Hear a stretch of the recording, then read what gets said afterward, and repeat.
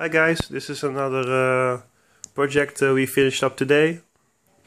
Uh, it's a Slayer Exciter, also known as the Tesla coil.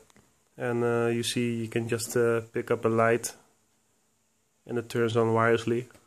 And you move it away, move it back again and it turns on. You can move it over the top, it goes on.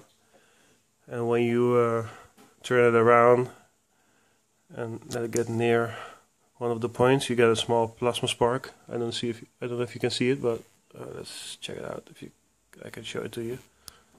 Uh, let me focus on the cam with the camera. Uh, yeah I think you can see it now. Pretty cool huh? Well I'll also post the building plans for it so you can replicate it if you want. It's good fun. Next time we're gonna make one uh, one tower of one meter and then uh, show it off again. okay, guys, have fun and build.